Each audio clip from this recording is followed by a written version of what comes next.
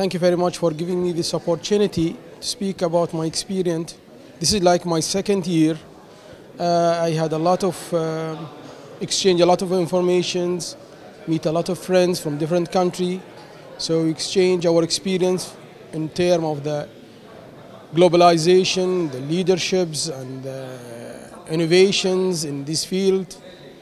Uh, this year is actually was more fruitful because there was more people came from different countries, and so we had the opportunity to to learn from their experience, to learn from their uh, um, project which they accomplished. The the the meeting, the meeting uh, or this gathering, is is is an added value for all of us. Uh, it, it gives us the chance to change our practice, to develop it, to bring new ideas, and in the same time to create more clients, friends, and business partners.